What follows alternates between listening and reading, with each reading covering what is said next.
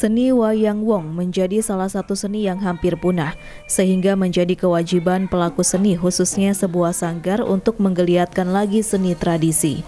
Di Sanggar Tritunggal Budaya yang sudah berdiri sejak 1960-an hingga saat ini masih aktif terutama menjadi pusat kegiatan latihan bagi anak-anak dan warga untuk bisa belajar tentang seni tradisi baik tari topeng, tari wayang wong, jaipong, ronggeng bugis, dan berbagai seni lainnya.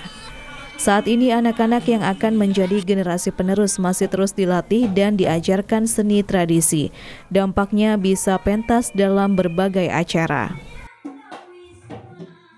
Di Sanggar Seni Tunggal Budaya itu ada semenjak eh, tahun 60 itu eh, penggeraknya kakek saya, kemudian diteruskan sama ayah saya, kemudian saya sendiri di tahun 2007 itu termotivasi untuk mengenalkan dan melestarikan ke anak-anak dari SD, SMP sampai ke SMA tentang seni tradisi yang hampir punah kayak ada wayang kulit, wayang uang, tari topeng dan tari kesenian yang lain.